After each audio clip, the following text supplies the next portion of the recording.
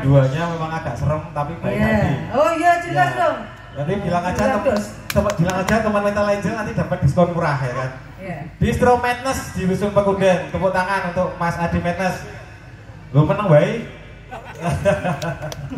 Monggo.